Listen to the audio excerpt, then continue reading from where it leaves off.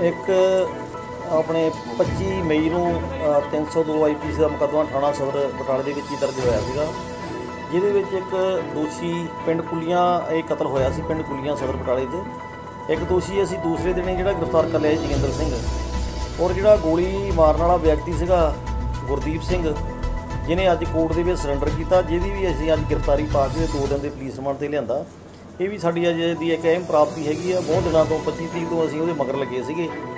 ਤੇ ਕਾਫੀ ਉੱਤੇ ਅਸੀਂ ਜਿਹੜਾ ਪ੍ਰੈਸ਼ਰ ਬਿਲਡ ਅਪ ਕੀਤਾ ਸੀ ਤੇ ਉਹਨੇ ਰਾਤ ਵਿੱਚ ਸਰੈਂਡਰ ਕੀਤਾ ਤੇ ਦੋ ਦਿਨ ਦਾ ਪੁਲਿਸ ਰਿਮਾਂਡ ਉਹਦਾ ਵੀ ਹਾਸਲ ਕੀਤਾ ਉਹ ਇਹਦਾ ਫਾਦਰ ਹੀ ਸੀਗਾ, ਜੋਗਿੰਦਰ ਸਿੰਘ ਜੀ, ਉਹਨੂੰ ਜੇਲ੍ਹ ਭੇਜ ਦਿੱਤਾ ਸੀਗਾ